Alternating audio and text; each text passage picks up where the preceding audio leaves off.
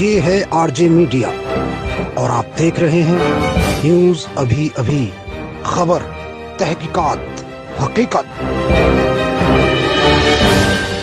मुख्यमंत्री आदित्यनाथ योगी ने सभी धर्माचार्य एवं प्रबुद्ध वर्ग से आगे आकर अपने दायित्व भले प्रकार निर्वहन करने और साथ देने की अपील की है। मुख्यमंत्री ने कहा कि सरकार सबका साथ, सबका विकास, विश्वास की नीति पर कार्य कर रही है और नागरिकता कानून को लेकर यदि किसी को कोई शंका है तो वह तो वे इस कानून के बारे में पहले पूरी वस्तुस्थिति जान ले, लेकिन कानून को अपने हाथ में न लें। मुख्यमंत्री की इस अपील के बाद देवबंदी उलेमाकारी इसहाक गोरा ने सभी से अपील की है कि कोई भी प्रदर्शनकारी कोई हिंसा न करे, किसको अपने हाथों में कानून ना ले।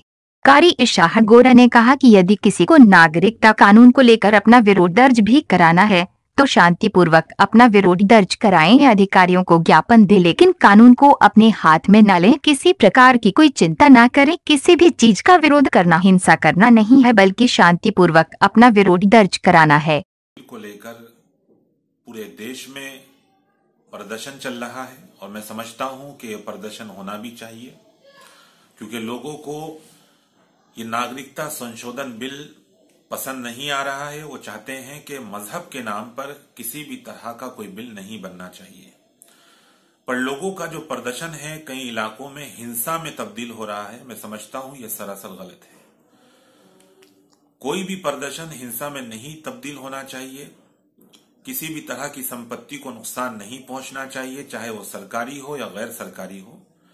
मैं तमाम लोगों से मुद्दीबाना गुजारिश करूँगा कि उनके जज्बात का मैं एहतराम करता हूँ, पर अपील करूँगा कि आप अपना प्रदर्शन दर्ज कराएँ, ज्ञापन के ज़रिए कराएँ, भीड़ इकट्ठा कर कर कराएँ, पर उस भीड़ को हिंसा में तब्दील ना करें। पुलिस प्रशासन के ऊपर पथराव या किसी भी तरह से पुलिस से ना भिड़े। पुलिस के साथ उनका सहयोग करें। साथ ही मैं अपील करूँगा कि आप लोग अपना प्रदर्शन ज़रूर करें, पर हिंसा में तब्दील ना करें।